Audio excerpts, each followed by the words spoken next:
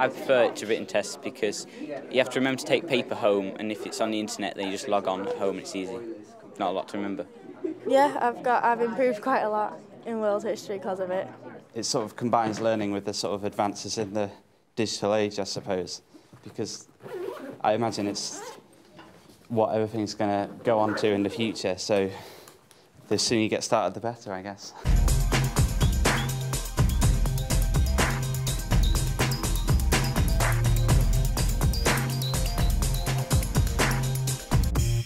Anybody who says that the use of a VLE is going to save you time in the short term is talking baloney. It ain't gonna happen. At Queen Elizabeth School in Kirkby Lonsdale in Cumbria, teachers and pupils have been using a VLE called Moodle for a couple of years now. We'll see how it's used to teach English, food technology, physics, and in the school's reading club.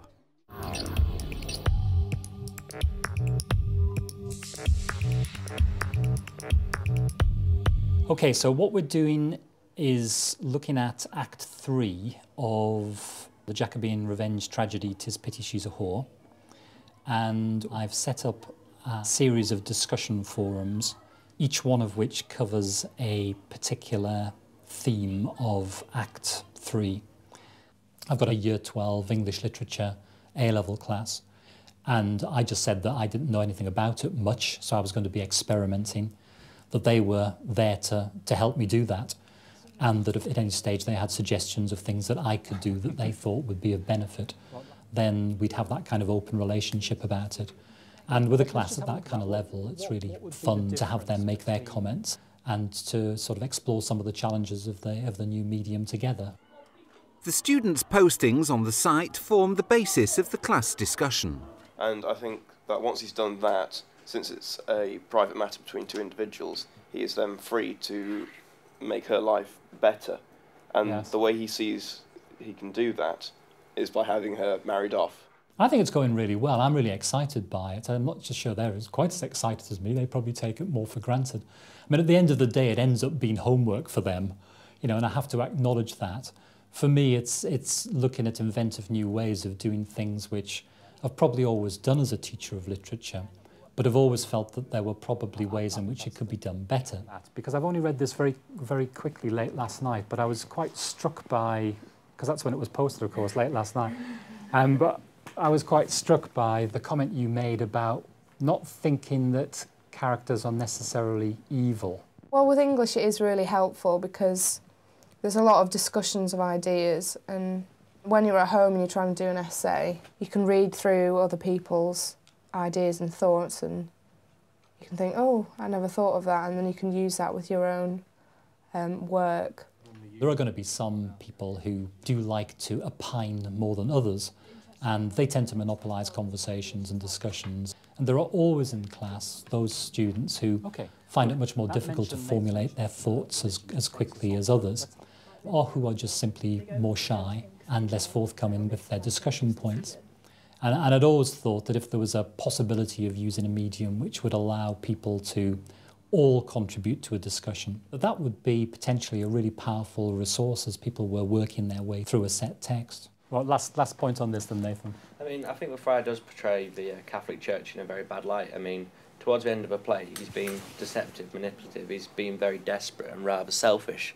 At the beginning, I really didn't like it, and it was scary and like how to load load what I've done onto it and stuff. I was a bit like, but I really like it now because there's loads of clever people in the class, and I just feel like sometimes in the class it's a bit scary to say things if it's wrong. But I just feel like on here you can put things on, and it's not as much pressure almost. We have to recognise that students spend an awful lot of time outside of school on computer they are probably communicating with each other more than any other generation outside of school has, has, has, ever done before. And if we can get that kind of inclination which they have um, generated into their enthusiasm for their, for their work, so that communicating with each other and with their teacher is something which is as enjoyable as the other forms of communication they have outside of school, then I think we're onto a, a real winner in terms of pupil learning. You.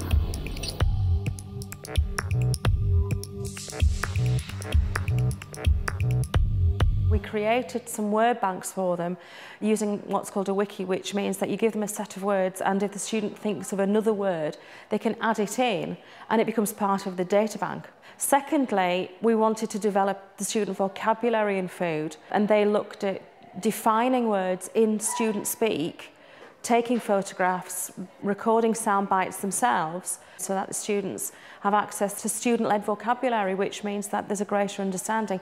Plus, we've created some games where you can educate or develop spelling skills so they can hear it, they see the lettering, they see the words, and then they can hopefully develop the vocabulary. For me, it's enhanced learning. Um, it hasn't replaced what we do already in the classroom. It's enhanced learning because students can find a way of increasing their presentation skills, increasing their vocabulary, increasing their knowledge of food in the right context, which is obviously healthy eating and, and good skills. And that side of it's not really lesson-based, that's more home-based, you know, fun-based, maybe using an educational tool instead of a game tool. Carol was new to VLEs, so the local authority IT support organisation, CLIO, came in to hold her hand. Well, what I'm doing, what I'm doing with my department is I'm, I'm doing a training just after half term on what I'm doing. Yeah. I came in and basically gave Carol a very quick demonstration. Obviously, she's seen this around the school, but this was specifically for her. What did she want from it? And what she wanted was to help her students make the most of their time in the classroom and to avoid faffing around with worksheets, risk assessments, safety plans, and all her paperwork. So the first thing we could do is put all those sheets online, not just for children to download, but to fill in online. So it's gathering all the resources together, it's saving learners time, giving them the resources they need, and um, making, so therefore making the most of the time in the classroom. Do you use yeah, the Moodle to do this? Moodle. The only thing we need to do in this is develop it to this the next stage. Okay, we can do that today. Add the bits in, just the reminder shots in the bottom. Yeah. We need to move this box a bit bigger, yeah. make the risk assessment smaller. Yeah. Because Absolutely. what we're finding is that they're using this all the time yeah. whenever they're doing it. And Olivia's one who uses it a lot, and she does the she does the evaluations in the same way. To make it easier to work, things like that. It's marvellous. It's really nice to see something that we've discussed actually being used. We've seen it all the way through. Clio can give us a strategic direction, but more importantly, on a day-to-day -day basis, they can give us experts who will come and work with our teachers. That kind of hand holding with a third party is a really good way, not just of getting things going, but giving this activity a kind of professional legitimacy.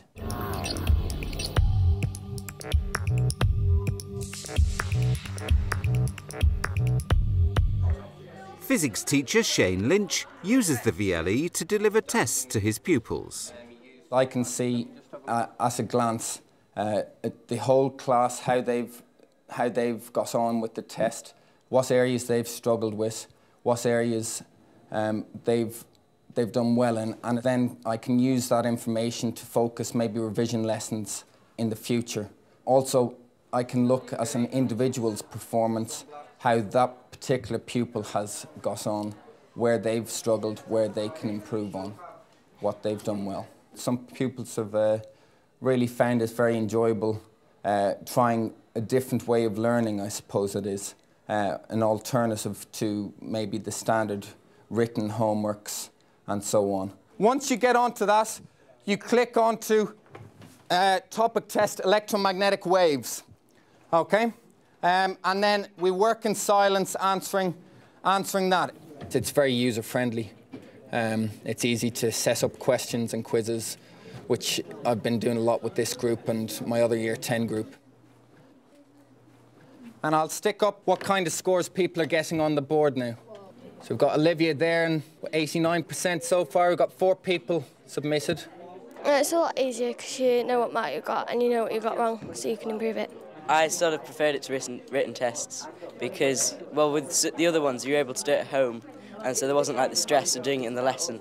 So you could just sort of do it at home, like listening to music and stuff like that.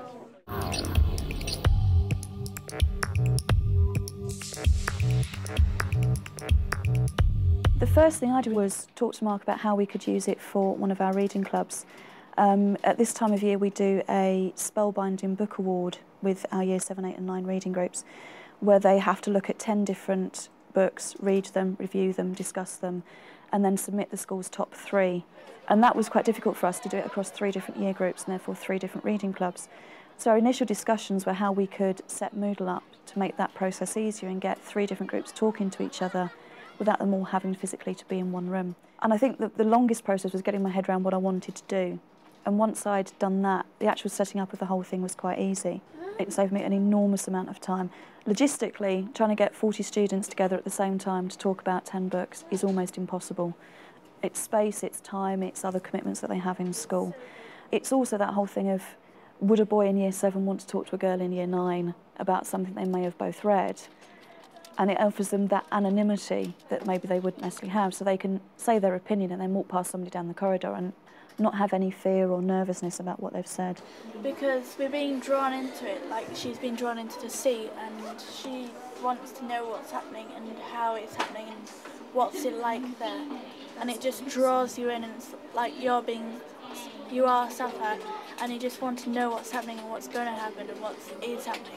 So you're happy to carry on talking to other people through that discussion group? Yeah. You give an idea as to Admin-wise, it's an enormous amount of time because you set it up and that's it. So rather than it being an extra workload, it's actually reduced the amount of workload that we would normally have running this at the same time as the reading clubs. It's a great way of engaging, particularly boys. It's quite cool to use a computer, it's not quite so cool to read. I have a really core group of boys who do an awful lot of reading but who aren't particularly good at talking about it out of the reading club environment. And I found that they are the ones who particularly like using the discussion forums. And some of our more shy girls who might not necessarily say something during a reading group will express an opinion because of that sense of anonymity. In person, people don't usually talk together, but in Moodle, you can talk to each other without anybody judging you or just saying, oh, you shouldn't be talking to her. So it gets people talking, i really like it. not physically but in word, and it just brings people together. It can be quite intimidating, but if if your IT teacher tells you how to use it, then you can get used to it really fast. And after that, it's really simple and it all explains itself. I think um, it, make, it makes me read different types of books which I don't usually read, and there's always good discussions every week. Cleo, because she was in The decision on which VLE to choose is a big and complex one. We'll be looking at that in the other programme in this unit. But the advice from Queen Elizabeth's, which has more experience of a VLE than most other schools, is to make a start as soon as practical. I think I would advise people to, to, to get, dip a toe in the water and get going as soon as they possibly can, with the caveat been that you probably do need some kind of special person at the heart of it all who, who has really got a torch for learning um, as, a, as opposed to a torch for technology. I have been quite astounded at how very quickly the whole medium has been embedded into the life of the school. Be clear that the most important thing ab about a virtual learning environment is the word learning. Um, just see it as a natural extension of all the various aspects of school life which are contributing towards an enhancement of learning experiences for, for young people.